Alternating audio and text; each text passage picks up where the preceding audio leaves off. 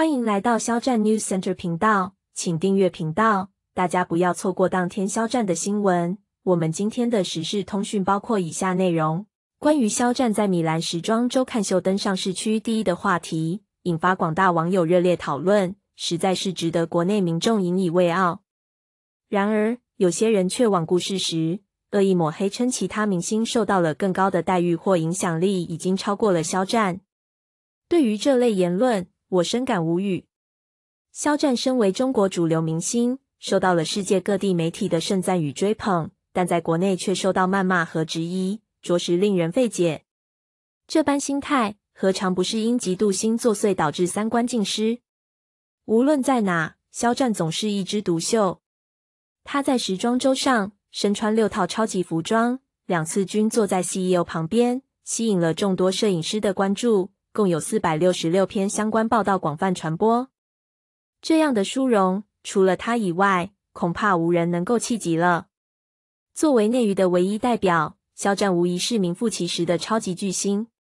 尽管恶意诋毁无法改变这个现实，但所有人都能看到那份属于他的特殊待遇。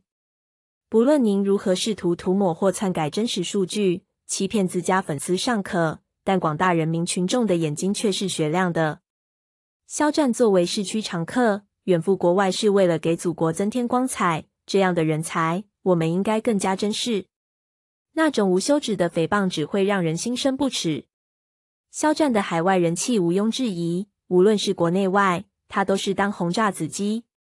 凭借精湛的表演技艺、超凡的商业价值以及被时尚界的宠幸，肖战成功立足，不仅获得大众的认可，也赢得了高奢品牌的厚爱。样貌出众，气质优雅，肖战以独特的魅力获得全世界的瞩目。成为内娱近年来唯一一位集星光、流量、实际于一体的巨星。从外国人对他的评价中可知，自信、礼貌、优雅、娴熟、细腻，正是他们对这位中国巨星肖战的赞誉。他们极为欣赏肖战所展现出的即兴创作天赋和社交沟通魅力。至于那些诋毁之人，我劝你们还是收手吧。想要的东西就去拼搏。不要走偏锋，这才是真正的道理。千万不要自我否认，没本事取代肖战，只让人觉得好笑。感谢您观看影片，请订阅我们的频道，以支持我们。